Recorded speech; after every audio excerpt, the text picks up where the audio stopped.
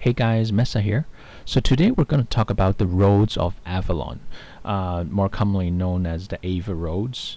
Um, so in this video we're going to cover you know what are ava roads the basics you know how, how to navigate them um, also the content type in them um, what kind of pve pvp content you can expect and also you know a bunch of tips and tricks on how to really survive and navigate ava roads and most importantly you know how to make the most money and to get the most out of ava roads.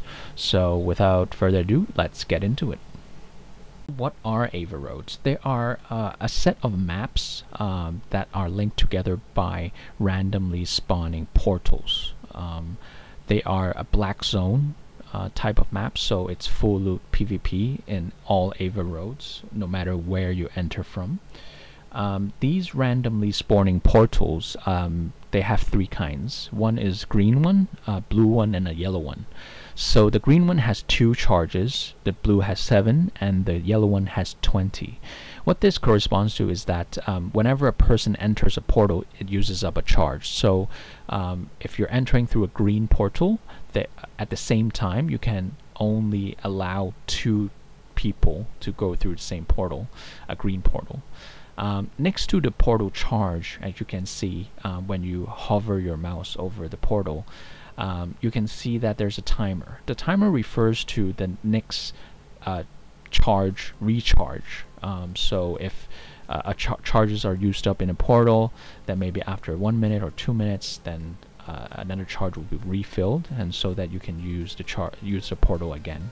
One thing that a lot of people don't know about these portals is that each time you go through the portal, you'll actually have a 10 minute free charge to use. Um, to go back through the same portal without using up a charge.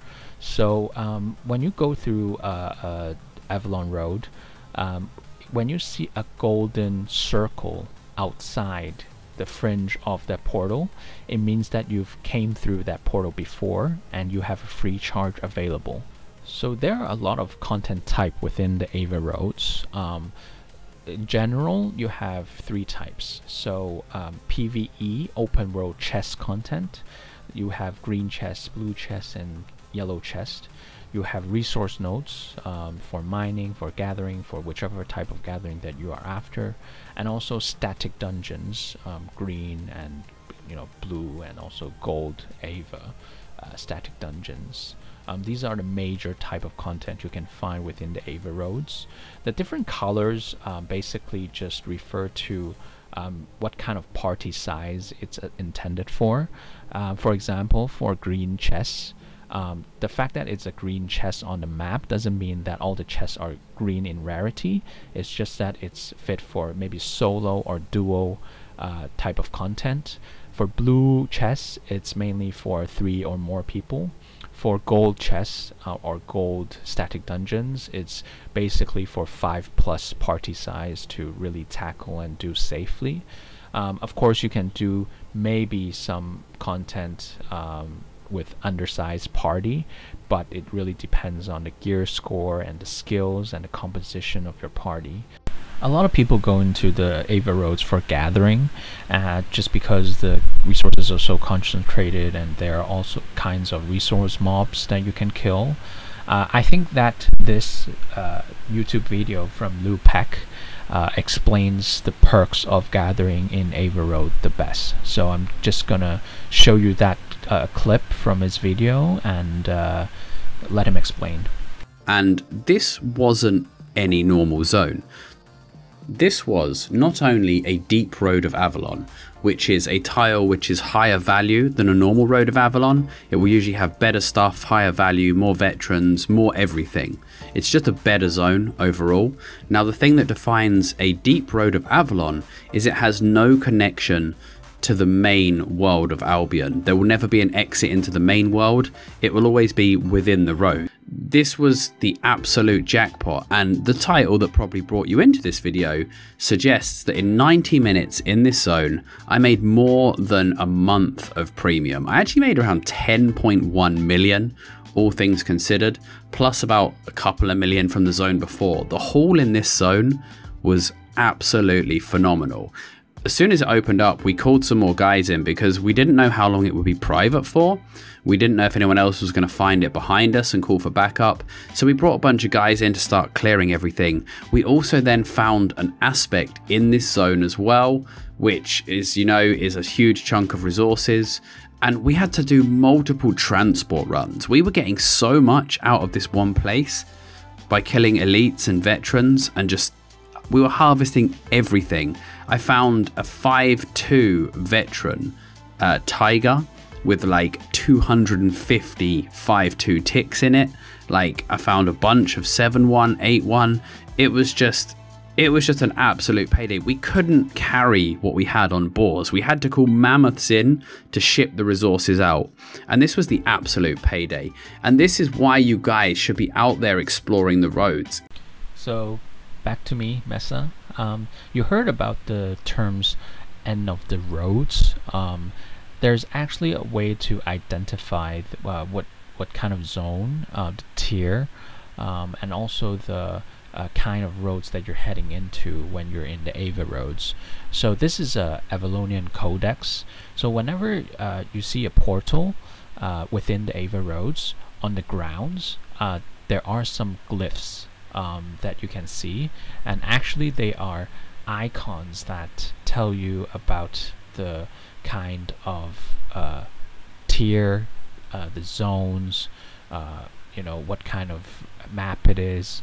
Um, so you actually have more info than you think. And um, by looking at these especially looking at the tiers um, you can consider whether to go into the zone or to find another exit so finally about, you know, some tips and tricks on how to survive in Ava roads, there are a couple of things. Um, the first one is to look at the charges of the portals.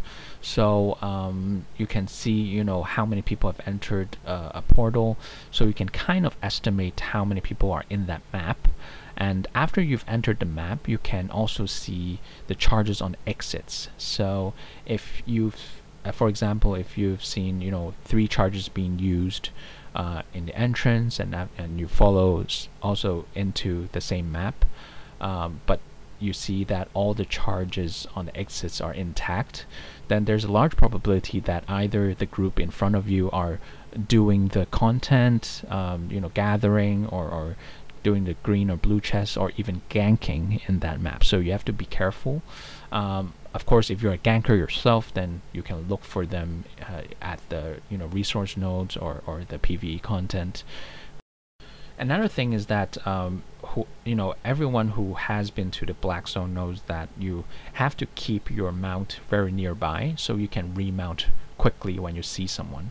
This is especially true in Ava roads because no matter what type of content you're doing, um, the chests in the open world resource gathering, there's always always a chance that you're getting ganked. So um, even if you're doing the creeps at the green chests, um, for each mob, uh, my suggestions would be you mount and dismount near the mob so like any black zone, um, there will be guilds that you know come into Ava Roads to do the static dungeon content or you know try to have their hideouts in the Ava Roads. You can build uh, hideouts in the Ava Roads and you will also see in some maps there will be a lot of hideouts from different guilds and alliances. Um, but don't worry, um, the big alliances or guilds don't actually have control over the Ava roads um, just because of the random nature of the portals in Ava roads. Um, it's it's very hard for alliance, alliances to or guilds to uh, mobilize a lot of people um, through the Ava roads and to consistently you know patrol or or, or be in a certain map for a long time. So um, in the Ava roads, it's a lot of small scale PvP unless there are big groups that do static gold dungeons, Ava dungeons, or they are doing, you know, traveling through um, for you know other content. Um, so the the effect of alliances or guilds is not that apparent in Ava Roads. So as a summary, I think you should go into the Ava Roads expecting both small scale PvP and also gathering. So if you're a gatherer yourself, I think Ava Roads is definitely a great content to basically do every day.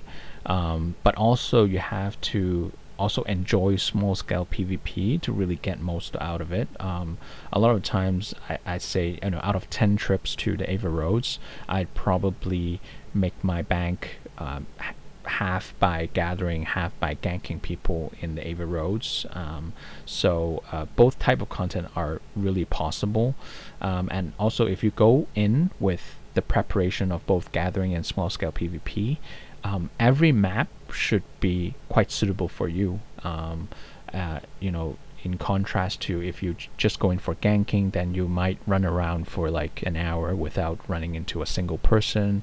Um, if you're just going for gathering, you probably run into a lot of PvP situations and you know can't get out. So it's it's really important to have maybe two kinds of gear available or at least some part of your gear is gathering gear or you bring a second set um, so that when there are really nice resource nodes you can change into your gathering gear and start gathering. So thanks again for uh, watching this video. Uh, comment like and share. Subscribe if you want more Albion content. Thank you